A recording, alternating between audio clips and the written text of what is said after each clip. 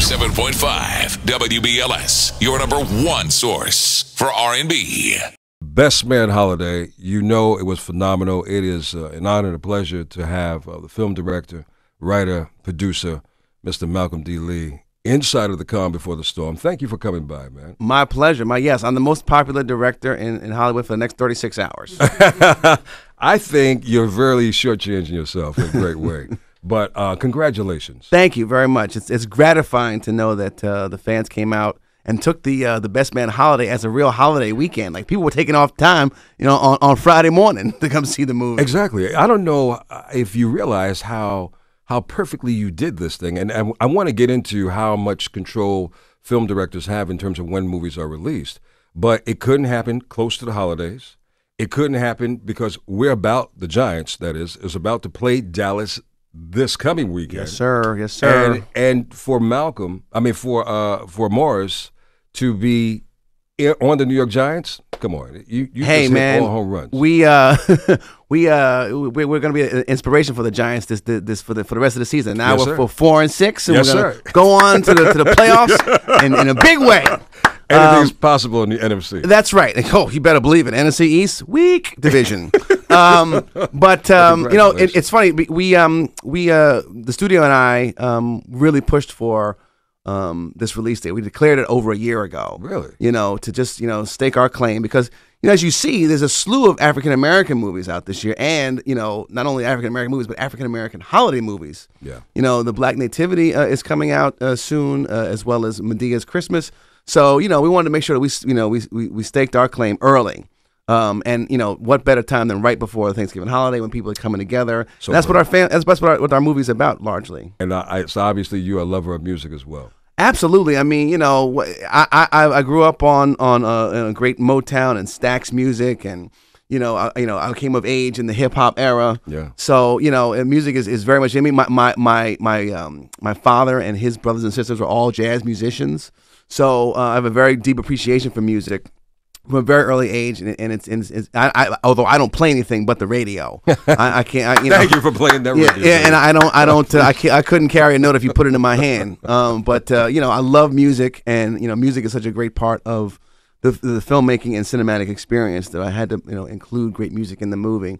And and music does play a great part, in, and and it'll make you want to see the movie again. It'll make you want to play to get the soundtrack. It's a they work symbiotically that way. You know, I always say that music is the soundtrack to our lives. That's true. There's certain songs that come out at certain times that we were caught in a moment in time where we're going through a good moment, a bad moment, unforgettable moment that music is attached to. No question about it. Um, and um, you know, when you especially when you get great um, artists to, to perform those songs. You know, we have Ne-Yo, R. Kelly, uh, Marsha Ambrosius, and Anthony Hamilton.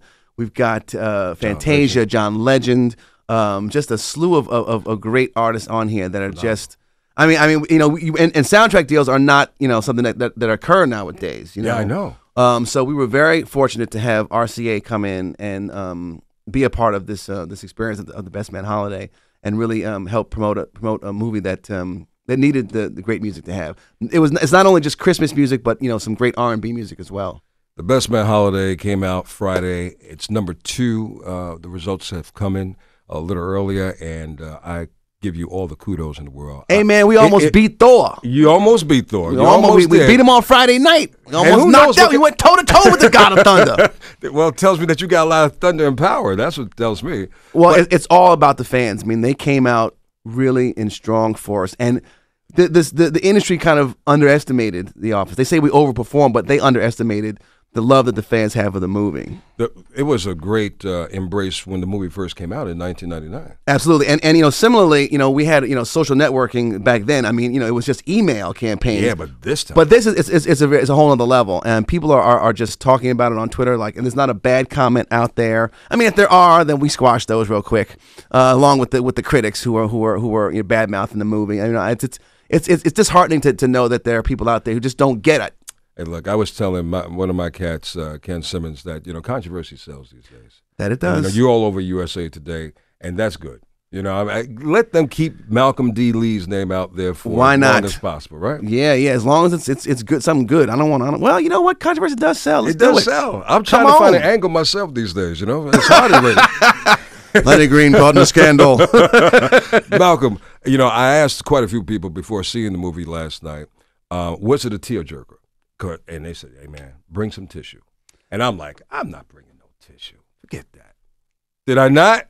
Did- I definitely teared up, yo. I'm gonna. I'll be honest. I teared up. There's you have some A few sentimental, heart wrenching moments that definitely touches the soul, and you have no choice but to get emotional. You know, I mean, I think that's a testament to, um, you know, we, we, we did write a, a pretty good script, and it, it's a it's a but more than that, it's it's testament to the actors and, and how they really embodied the roles, really and that and, and people became very invested with these characters a long time ago, Yeah. and to, to reunite with them um, now, 14 years later, and be reinvested and get the laughs going and and and the and the, and the dancing and and everything, it kind of prepares you for or it doesn't really prepare you, but it certainly gets you invested in, in what's to come in the in the film. And what I think what I think is really great about it is that it's not just touching, you know, the female audience, but you know they're much more accessible with their emotions. Um, but it's it's touching male audience Us, members as yeah, well. yeah. You know, the brothers, you know, they're, they're only get an opportunity to show their vulnerability towards one another, towards their their, their significant others.